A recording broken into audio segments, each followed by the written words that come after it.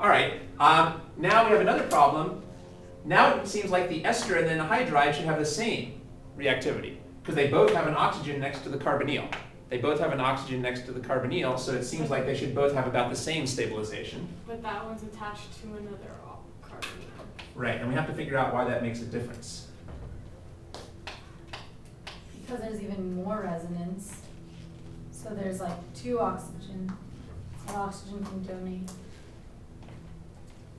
Oh, because alkyl groups are, we had talked before last semester that alkyl groups are electron donating. So That's a good point, but this is too far away to really donate too much. So yeah, this alkyl group is too far Oh, away. no, I'm talking about the ester.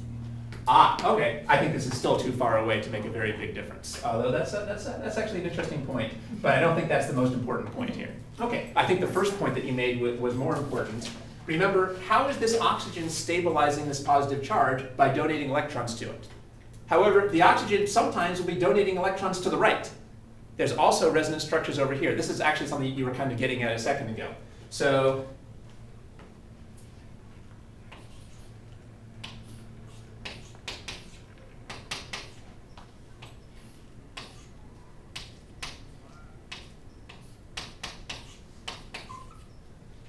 Instead of donating electrons to the left to stabilize this positive charge, sometimes the oxygen is going to donate electrons to the right.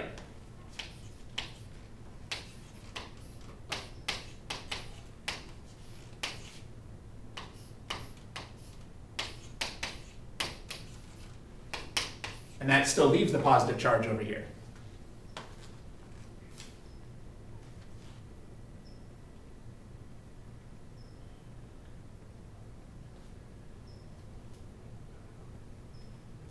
Well, that's basically the explanation for why this oxygen is more effective at stabilizing the carbonyl carbon than this oxygen.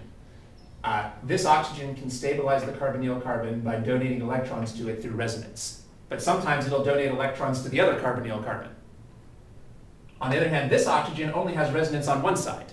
This is the point you were getting at when you said there's no carbonyl on the other side. There's no resonance on the other side. This oxygen has nothing to do but spend all day donating electrons to the left-hand carbonyl carbon. So it's going to be much more effective at stabilizing that. So one of the big themes today is something I already mentioned earlier um, about how important resonance is this term and always looking for resonance explanations. Even if the problem didn't mention the word resonance, we're expected to come up with that on our own, looking for as many different plausible resonance structures as we can.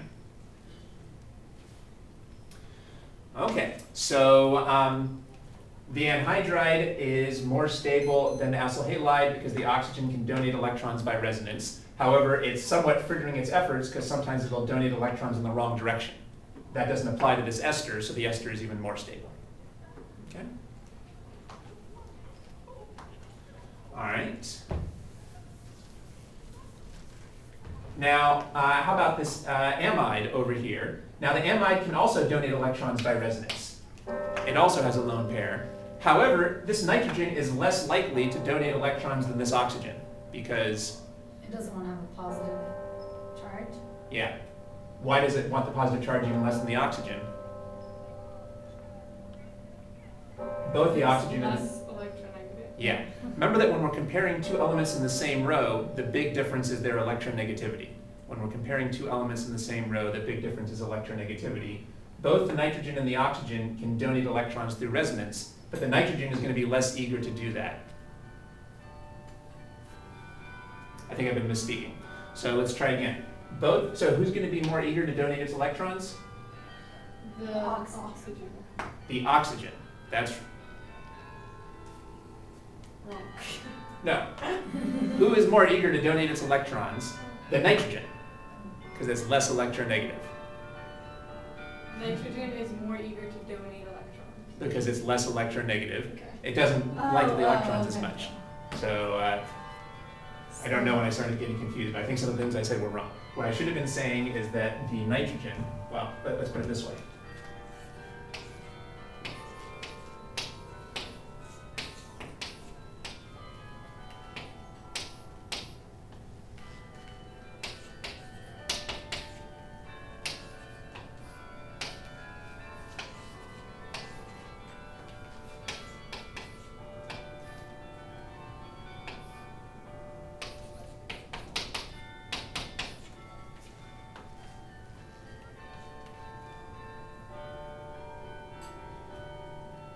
So here we have two resonance structures where the carbonyl carbon has been stabilized by having pi electrons donating, donated to it.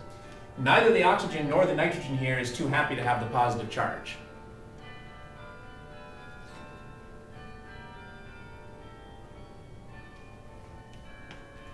But who, who is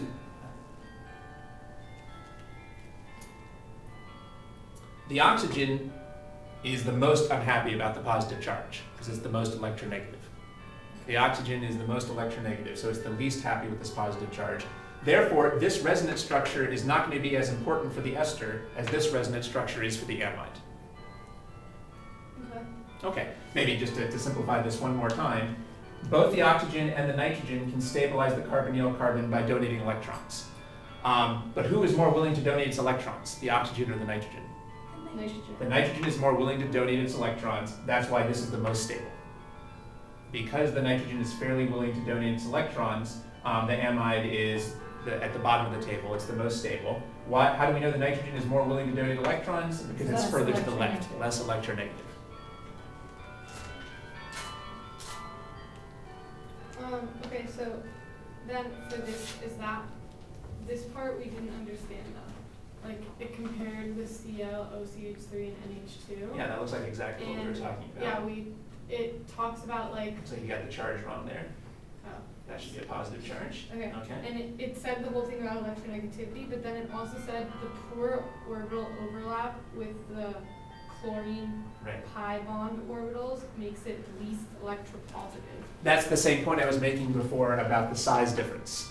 In order for this to donate electrons, um, the way that the electrons are really donated, donated, uh, the rate the resonance actually occurs is by overlap of p orbitals.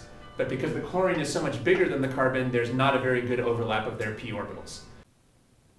These videos are offered on a pay what you like basis. You can pay for the use of the videos at my website. There is a link to my website in the info box. The address is www.freelance-teacher.com slash videos.htm or you can just use the link in the info box. By the way, I also offer tutoring via Skype and you can find more information about that Skype tutoring service at my website. Thanks.